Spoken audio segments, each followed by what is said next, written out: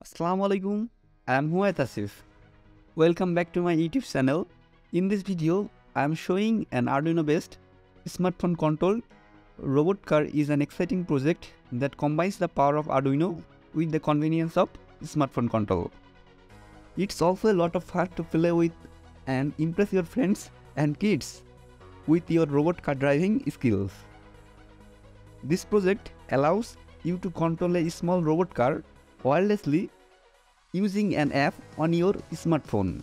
To get started with this project, you will need an Arduino board, a motor driver, 4 motors, a Bluetooth module and a simple car chassis. You will also need to download a smartphone app that can communicate with the Bluetooth module. First step is to assemble the robot car chassis and mount the motors onto it. Then connect the motors to the motor driver and the motor driver to the Arduino board. Next, connect the Bluetooth module to the Arduino board.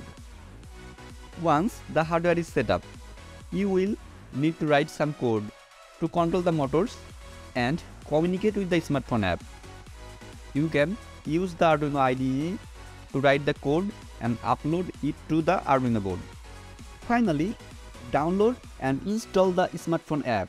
Pair it with the Bluetooth module and start controlling the robot car wirelessly from your smartphone.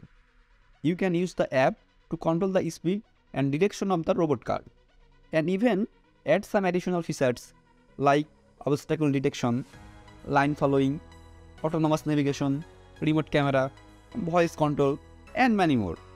Overall, this project is great way to learn about Arduino, robotics and smartphone app development.